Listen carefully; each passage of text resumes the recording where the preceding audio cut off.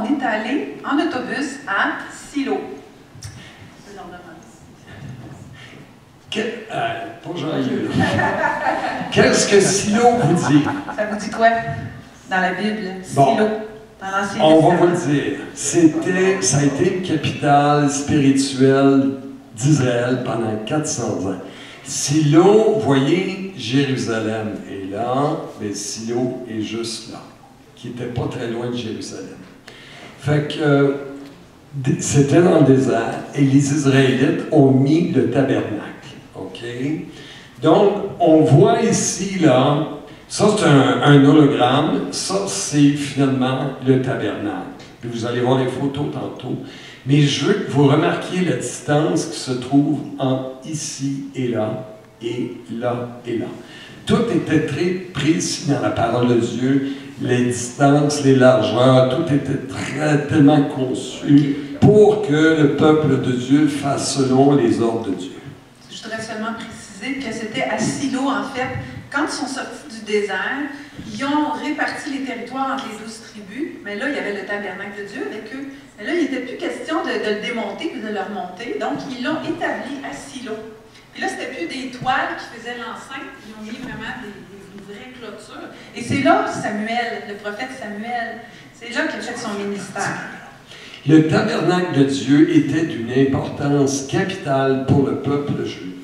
C'est là que se trouvait l'autel des sacrifices pour recevoir les sacrifices d'animaux nécessaires à l'expiation des péchés. Quant à nous, n'est-ce pas, nous tous, gloire à Dieu, nous avons Jésus comme souverain sacrificateur éternel. Amen. On peut rencontrer. Puis on n'a pas besoin d'avoir un hôtel puis offrir quoi que ce soit. Fait que, écoutez, là, tantôt, je vous ai fait remarquer euh, la distance qu'il y avait. C'est la même reproduction que l'hologramme qu'on voyait tantôt. Ici, ils ont mesuré cet espace et ils ont trouvé des vestiges. Oui, je comprends, mais vas-y, vas-y. Parce que c'est là que. Anne. Oui, bon. OK. C'est là que Anne, vous savez, Anne n'avait pas d'enfant. OK? Puis pour une femme de ne pas avoir d'enfant, c'était tellement difficile pour elle. C'était une continuité de sa personne. C'était, c'était, c'était un héritage, quoi. Donc, elle est allée vers Dieu, elle a dit Écoute, Seigneur, je veux avoir un enfant. Puis euh, le prêtre qui était là, Élie lui a dit L'année prochaine, tu vas avoir un enfant. Eh bien, sa prière a un hein? Oui, puis sa prière a été réalisée parce que l'année suivante, elle a vraiment été enceinte. Mais la belle histoire qu'on veut vous raconter, euh, c'est que. euh, c'est pas dans l'ordre, c'est. On va aller un petit peu plus loin. Écoutez, il y a eu un couple juif américain qui habitait New York. Il était vraiment à l'aise, très, très à l'aise. Et le couple n'arrivait pas à avoir d'enfant. Puis là, ça rendait la dame triste. Elle dit, Ah, à mon âge, j'aimerais avoir des enfants. Mais ils ont un ami juif qui leur a dit Écoutez, pourquoi vous n'iriez pas à Silo? Anne a eu la même situation que vous. Elle a prié. Et l'année suivante, elle a eu un enfant. Ils sont allés à Silo. Le couple a prié avec euh, un pasteur, tiens. Puis là, miracle, l'année d'après, elle a eu un enfant, elle était enceinte. Et ce couple a offert ce cinéma 3D où est projetée toute l'histoire de Anne en 3D réel, comme IMAX. C'est fantastique. On va revenir. Ça fait pas très longtemps que ça a été construit. Non. non, non, c'est ça. Et là, la raison, là, ils- ils sont presque sûrs que le tabernacle se trouve à, cet endroit. Pourquoi? Il y a deux raisons. La première, c'est que les murs qui se trouvent ici et là-bas, ça en passant, c'est qu'ils vont reproduire le tabernacle. C'est pour ça que vous voyez les poteaux. Mais d'un mur à l'autre, ça correspondait exactement à la largeur qu'on a vue tantôt.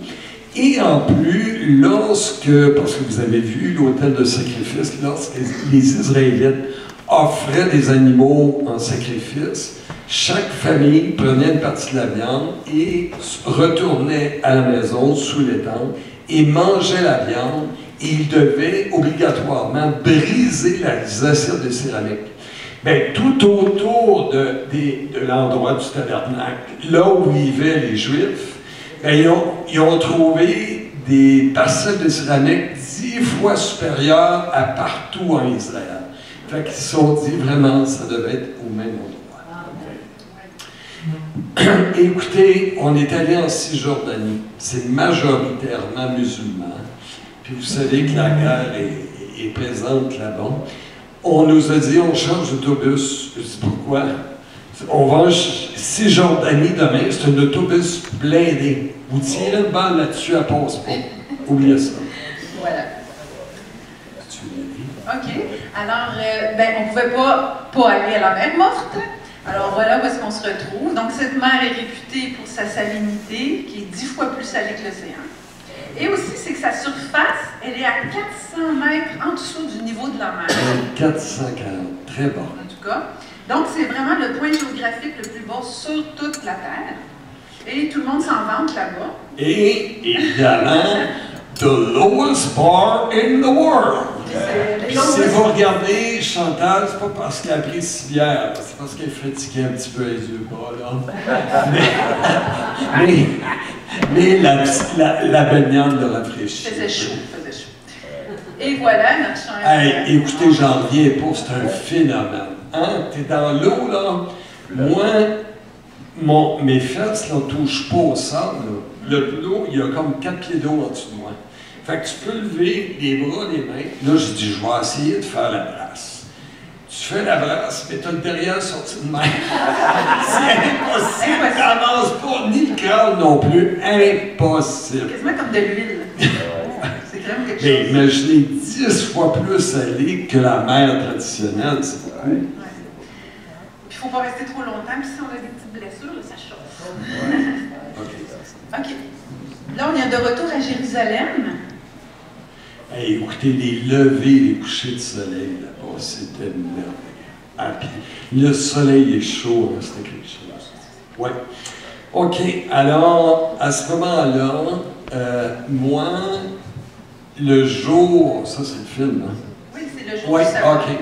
Le jour du sabbat, ben, vous savez comment j'aime me lever tôt. Je, je me levais avec le lever du soleil. Là, je dis, sabbat, hey, je dis, je vais aller au mur occidental. En passant, ils ne l'appellent plus le, lieu- le mur des lamentations parce que vraiment, ils se sont dit, c'est un mur à l'ouest, on va l'appeler occidental maintenant. Et écoutez, il y avait une activité là, il était 6h15 le matin. J'en revenais pas de voir un autant de monde, vas-y pour le petit film, et regardez là. Hey, on n'entendra pas mon chauffeur. Hey, on va le mettre sur YouTube. OK. Donc, euh, c'est le fameux mur, oui, occidental. C'est tout près de notre hôtel, fait qu'on pouvait y aller facilement. Puis c'est ça, le jour du sabbat, là, c'est comme ça. euh, il y a un côté pour les hommes, un côté pour les femmes. Là, on, bon, le prochain... Ok, euh, le prochain, c'était... euh. C'est ça. C'est ça. Donc, vous n'aurez pas le son, fait qu'on va passer la prochaine. OK. Bon, plus tard dans la journée, on a visité la salle où euh, Jésus aurait pris le dernier repas. En fait, c'était pas la salle même où il était, mais c'était une salle comme ça. Euh, OK, où il a pris vraiment son dernier repas avant d'aller euh, dans le jardin de Gethsemane. Donc, euh, c'est vraiment une belle salle. Puis là, on va revenir au chauffeur. Ouais. Bon, on va On essayer. va l'essayer. On va l'essayer. Parce que, attends, attends. Regardez ici, là. Là, ça, c'est l'esplanade, le mur des lamentations est juste ici. OK? Puis lui, il, il fait du chauffeur, puis il fait un appel à la prière. On ne l'entend pas, là. Mais lui-. Ouais. OK. Donc, c'était euh, une très belle. euh, Ben, un jour. Ouais, ça. tu sais, On entend souvent le chauffeur, bon, ouais. Et lui, là, c'était un expert. Ça sortait, là, c'était clair, là, c'était beau. C'était bien. Ah, Jérusalem le soir, près de notre hôtel. C'est quand même beau, hein? Vous êtes beau. OK, là, on reste toujours à Jérusalem. Écoutez, regardez ce mur, comme il est fissuré. C'est toutes des balles, des boules de canon. Hey, Israël a été. Israël a été quand même pris une vingtaine de fois. Imaginez. Il y a eu des guerres Il y en a eu de la guerre. à Jérusalem. Oh, la prochaine photo, Bon, la celle-là, prochaine photo, ça, c'était au musée d'Israël. ça m'a vraiment surpris. Écoutez, ce qu'on voit ici, là, c'est des os d'une cheville. OK? Puis qu'est-ce que vous pensez que c'est, ça? C'est un. Exactement. Qui prouve comment la résurrection était commune dans le temps de Jésus. Euh, pardon, la crucifixion. Oui, avec un clou qui transperce même les os. Imaginez. était moins. C'était moins comme Elle était pas mal plus glorieuse. exceptionnel. Oui, c'est ça. Vas-y. Bon, ensuite, on a visité euh, ce qu'ils appellent euh, Le lieu du crâne. Ce qui est l'endroit où vraiment Jésus a été crucifié. Pourquoi il appelle le lieu du crâne? Ça a l'air d'un crâne ici, vous voyez. Les deux yeux là. Et même, il y a un guide, il y avait ici, autrefois, comme un rocher surplombé, comme s'il y avait un nez. Puis le guide, qui est habitué d'être là, puis qui narre toute l'histoire et tout, il est arrivé un matin, puis le nez a tombé. Il dit Ah, ça c'est pas bon. Il dit Que voulez-vous qu'on fasse? On va, on va toujours. Ah, ben oui.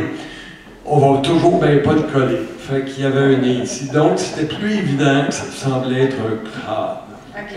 Là, le jardin de la tombe, il y a- il y a une contestation. Il y a certaines personnes qui disent que c'est où est-ce que on vous montre. Là.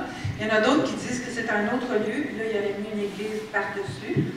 Mais euh, en tout cas, ça, c'était vraiment un bel endroit. Et quand même, regardez la porte. La porte de la tombe ici. Et on avait le droit de rentrer à peu près deux par deux là-dedans parce que c'est assez étroit. Donc, le lieu probable où Jésus, Où Jésus aurait été déposé. Il y, a, il y a beaucoup de choses qui concordent pour dire que c'est là, dont une des preuves qu'on va vous montrer. Bon. Puis ici, en fait, l'accès est fermé par des barreaux à à l'intérieur. Puis là, ben, j'ai mis le verset. Marie-Madeleine, ouais, elle vit deux anges vêtus de blanc, assis à la place où avait été couché le corps de Jésus, l'un à la tête, l'autre aux pieds. Et là, j'ai pris Et cette vous photo. voyez, justement, Jésus a été couché là, et il y avait de l'espace pour un ange ici, puis un autre juste là. C'est ça. Donc, on imagine les anges assis, l'un à la tête et l'autre aux pieds de Jésus. Euh, Alors, comme on vous disait, les couchers de soleil, le lever de soleil, c'est très, très beau. puis la prochaine aussi, c'est comme l'agrandissement de la photo précédente. Je trouverais vraiment belle.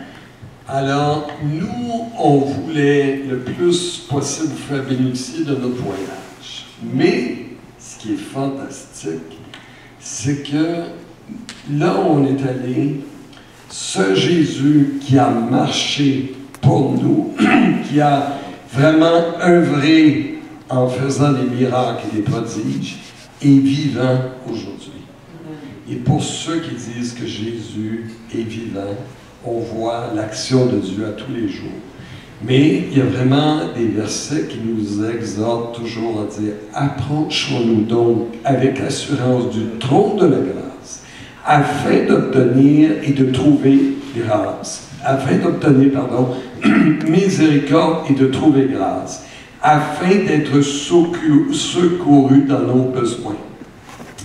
Alors, moi, ce que j'aimerais vous demander, c'est qu'on puisse. Tu vas partir. Qu'on puisse s'arrêter. La parole de Dieu dit Arrêtez et sachez que je suis Dieu. Je domine sur les nations, je domine sur la terre. Dieu a le dernier mot. C'est lui qui nous attend après. C'est lui qui connaît notre destinée. C'est lui qui connaît l'histoire de l'humanité future. Il connaît tout. Alors, j'aimerais...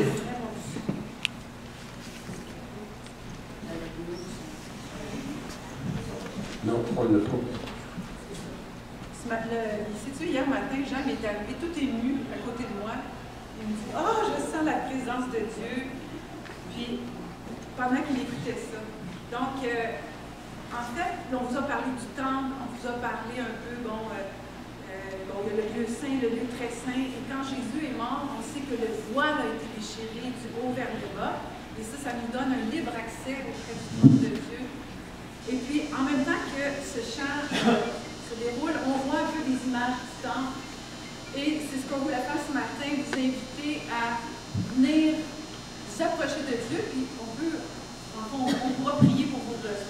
Mais vraiment, le faire dans un esprit où vous vous approchez euh, de la présence ultra sainte de Dieu à travers le sang de Jésus. Donc, on va euh, partir de la chanson. Je veux juste dire, c'est le fait de venir en avant, c'est dire à Dieu, je prends un temps pour toi, pour m'approcher de toi. Je veux que tout le monde se sente libre. Mais que si vous aimeriez avoir la prière, vous levez la main, puis à ce moment-là, on va prier pour vous. Fait qu'on vous demande de porter attention. C'est en hébreu avec sous-titres français.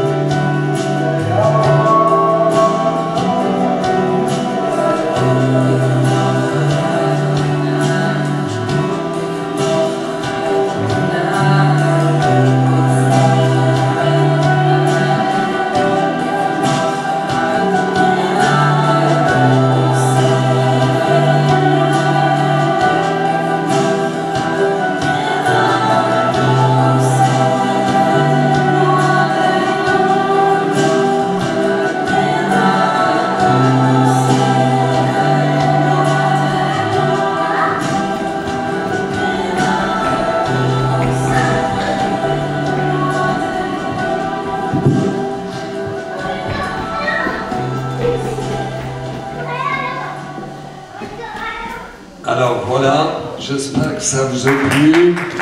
Soyez bénis. Que Dieu vous fortifie. S'il y en a qui aimeraient avoir la prière, vous êtes les bienvenus. Et autrement, il va y avoir un goûter. Ceux qui veulent se joindre à nous, vous êtes les bienvenus. Et je salue mon ami Izzy et son épouse. Ils sont parmi nous. Amen. Hey, merci, c'était formidable.